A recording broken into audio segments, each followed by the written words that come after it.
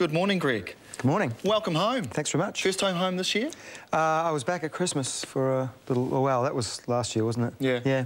Time flies, eh? It does, yeah. It So where, you're based over in Los Santa Angeles. Monica? Yeah, yeah. How yeah. long have you been based over there for? About 11 years now. Wow. Yeah. And 20 years in the industry, you're here to celebrate that. At, at least, yeah. What a we just- it was a nice round figure, so we went with 20. Um, it's probably a bit longer than that even, but yeah, it's been 10 albums and uh, 20 years of touring around. A lot of it, a lot of it, obviously, here in New Zealand, up and Mm. down the country, many times. That's right. Speaking of up and down the country, you're going to be t taking your 20th anniversary tour up and down the country. Yes, we are. We're, we're doing uh, Christchurch, Lyttelton, uh, Hamilton, Tauranga, Matakana, Auckland, Devonport, New Plymouth, The Tron. the Tron, Hamilton. we start in the Tron. Haven't been there for a while, so it was overdue to go down to the Tron. Saves them driving up. Mm. And uh, yeah, I'm really looking forward to it. Actually, I always enjoy getting out to the into the country and seeing what's going on. Take us back 20 years ago. How did you get into the music biz? Well, actually, um, I started right out of school, um, like most people, I suppose, uh, into a kind of into a band when I was about 14 or 15. But before that, it was all orchestras and wind bands and all the rest of it. And it just seemed, seemed to sort of suit me, so I never um, never did anything else. Never really wanted to do anything else. So Yeah. Um, of course, a lot of our viewers are going to be familiar with that hit track, Isabelle. Yeah. How did that come about? What's the story behind that track? Um, well, that one was actually, uh, it was a song that we weren't even going to record, and we were doing another song in the studio that day, and which wasn't going well. And I said, oh, I've got a new one, let's try that. And um, it turned out to be quite a quite a goodie.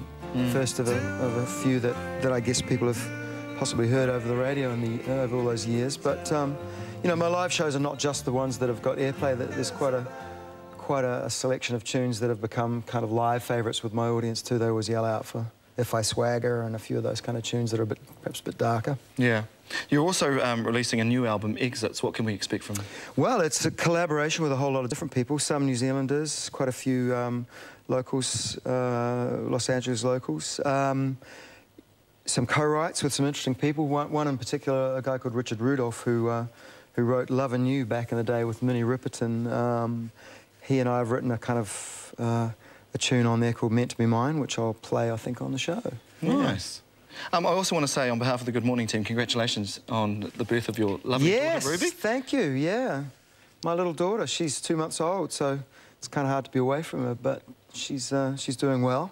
Of course, your lovely wife, Kelly, he's, she's got an interesting job. She's a Hollywood stuntswoman. So She you're is. kicking it with all the celebrities over there? Well, you know, we do have the occasional glamorous moment, but, um, Can you name drop some? uh, well, uh, let's see. Um, I had Jon Huertas over at the studio the other day, but that was actually for something I was working on a show, Castle. Um, we've had, um, oh, um, Zoe Saldana is a friend of Kelly's and a few people like Oh. that. So, yeah. She does, she does a lot of um, movies and a lot of Disney shows as well. So, Yeah. um, Bad Teacher and um, Real Steel and a whole lot of stuff. yeah, it's good. It's fun. So life is good. It is good, yeah. It's definitely good. Uh, I sort of get um, get to travel, which is what I like to do as well. So I get Mm. to come back home for at least once a year and eat some cheese and some seafood, And some pies, you mentioned. some pies. hey, Greg, it's great to have you back in the country. thanks, country. Matai. Yeah, And, thanks for uh, having us. Yeah, thanks for joining us this morning. It's a pleasure. All the best.